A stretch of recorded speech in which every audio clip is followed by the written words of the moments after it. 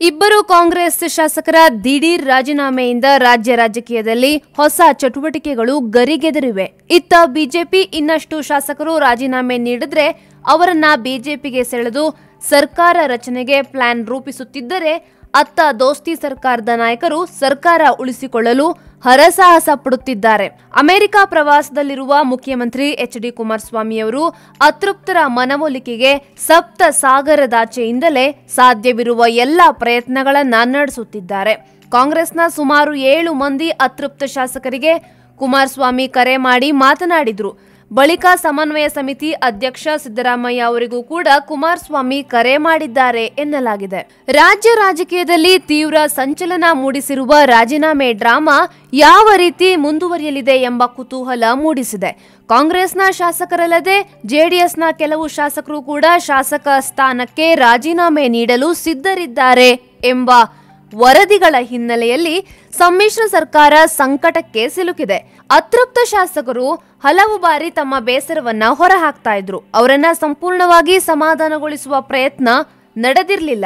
ಈಗ ಆನಂದ್ ಸಿಂಗ್ ಮತ್ತು ರಮೇಶ್ ಜಾರಕಿಹೊಳಿ ರಾಜೀನಾಮೆ ನೀಡಿರೋದು ಶಾಸಕರು ತಮ್ಮ ಸ್ಥಾನಕ್ಕೆ ರಾಜೀನಾಮೆ ನೀಡುವ ರಾಜೀನಾಮೆ ಪರ್ವಕ್ಕೆ ನಾಂದಿ ಹಾಡಲಿದೆಯೇ ಎಂಬ ಪ್ರಶ್ನೆ ಮೂಡಿಸಿದೆ. ಅಮೆರಿಕ ಪ್ರವಾಸದಲ್ಲಿರುವ ಕುಮಾರಸ್ವಾಮಿಯವರು ಜುಲೈ ಆರರಂದು ಮರಳಲಿದ್ದಾರೆ. ಆ ವೇಳೆಗೆ ರಾಜ್ಯ ರಾಜಕೀಯದಲ್ಲಿ ಭಾರಿ ಬದಲಾವಣೆಗಳಾಗಬಹುದು ಎನ್ನಲಾಗ್ತಾ ಇದೆ. ಈ ಸಾಧ್ಯತೆಗೆ ಆಸ್ಪದ ಕೊಡದಂತೆ ತಡೆಯಲು ಎಚ್ಡಿಕೆ ಸಿದ್ದರಾಮಯ್ಯ ಅವರೊಂದಿಗೆ ದೂರವಾಣಿ ಮೂಲಕ ಮಾತನಾಡಿದ್ದಾರೆ. ರಾಜ್ಯ ರಾಜಕೀಯದ ಬೆಳವಣಿಗೆಗಳ ಬಗ್ಗೆ ಚರ್ಚಿಸಿದ್ದಾರೆ. ಕಾಂಗ್ರೆಸ್ನ ಪ್ರಭಾವಿ ನಾಯಕರಾಗಿರುವ ಸಿದ್ದರಾಮಯ್ಯ ಅವರ ಮಾತಿಗೆ ಶಾಸಕರು ಬೆಲೆ ನೀಡಲಿದ್ದಾರೆ ಎಂಬ ನಂಬಿಕೆಯಿಂದ ಅವರ ಮನವೊಲಿಸುವಂತೆ ಕುಮಾರಸ್ವಾಮಿ ಸಿದ್ದರಾಮಯ್ಯ ಅವರನ್ನ ಕೋರಿದ್ದಾರೆ ಎನ್ನಲಾಗಿದೆ.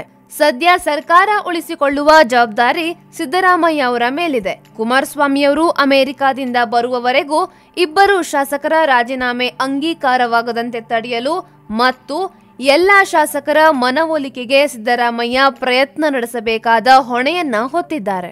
ಆನಂದ್ ಸಿಂಗ್ ಅವರ ರಾಜೀನಾಮೆಗೆ ಜಿಂದಾಲ್ ಕಂಪನಿಗೆ ಭೂಮಿ ಪರಭಾರೆ ಮಾಡುವ ಕಾರಣವನ್ನ ನೀಡಲಾಗಿದೆ. ಆದರೆ ರಮೇಶ್ ಜಾರಕಿಹೊಳಿ ಅವರ ರಾಜೀನಾಮೆಗೆ ಯಾವುದೇ ಕಾರಣವನ್ನ ನೀಡಿಲ್ಲ. ಹೀಗಾಗಿ ಇದು ಸರ್ಕಾರದ ವಿರುದ್ಧದ ಅಸಮಾಧಾನ ಹೊರಹಾಕುವ ನಡೆಯಾಗಿದ್ದು, ಇದಕ್ಕೆ ಇನ್ನೂ ಕೆಲವು ಶಾಸಕರು ಕೈ ಜೋಡಿಸಲಿದ್ದಾರೆ. ಜಾರಕಿಹೊಳಿ ಅವರ ಬಣದಲ್ಲಿ ಗುರುತಿಸಿಕೊಂಡಿರುವ ಅಥಣಿ ಶಾಸಕ ಮಹೇಶ್ ಕುಮಟಳ್ಳಿ ಕಂಪ್ಲಿ ಶಾಸಕ ಗಣೇಶ್, ಬಳ್ಳಾರಿ ಗ್ರಾಮಾಂತರ ಶಾಸಕ ನಾಗೇಂದ್ರ ಕೂಡ ಅವರನ್ನ ಅನುಸರಿಸಲಿದ್ದಾರೆ. ಇತ್ತ ಹಿರೇಕೆರೂರು ಶಾಸಕ ಬಿಸಿ ಪಾಟೀಲ್, ಕಾಗವಾಡ ಶಾಸಕ ಶ್ರೀಮಂತ್ ಪಾಟೀಲ್ ಶಾಸಕ ಸ್ಥಾನ ತ್ಯಜಿಸಲು ಸಿದ್ಧರಾಗಿದ್ದಾರೆ. ರಾಜೀನಾಮೆ ಅಂಗೀಕರಿಸುವ ಅಥವಾ ನಿರಾಕರಿಸುವ ಅಧಿಕಾರ ಸ್ಪೀಕರ್ ಅವರಲ್ಲಿದೆ. ಆದರೆ ಸ್ಪೀಕರ್ ರಮೇಶ್ ಕುಮಾರ್ ಅವರು ಅತೃಪ್ತ ಶಾಸಕರ ಕೈಗೆ ಸಿಗ್ತಾ ಇಲ್ಲ.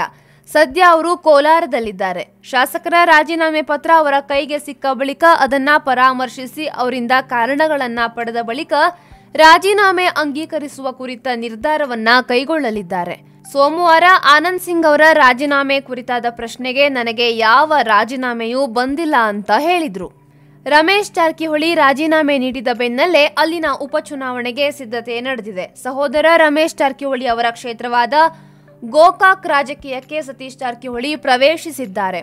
ಕಾಂಗ್ರೆಸ್ನ ಭದ್ರಕೋಟೆಯಾದ ಗೋಕಾಕ್ ಕ್ಷೇತ್ರವನ್ನ ಉಳಿಸಿಕೊಳ್ಳಲು ಮತ್ತು ರಮೇಶ್ ಅವರನ್ನ ಸೋಲಿಸಲು ಸತೀಶ್ ಅವರು ಈಗಾಗಲೇ ಸಿದ್ಧತೆಯನ್ನ ಆರಂಭಿಸಿದ್ದಾರೆ. ಮತ್ತೊಬ್ಬ ಸಹೋದರ ಲಖನ್ ಜಾರಕಿಹೊಳಿ ಅವರನ್ನ ಗೋಕಾಕ್ ಕ್ಷೇತ್ರದ ಅಭ್ಯರ್ಥಿಯಾಗಿಸಲು ಸತೀಶ್ ಬಯಸಿದ್ದಾರೆ.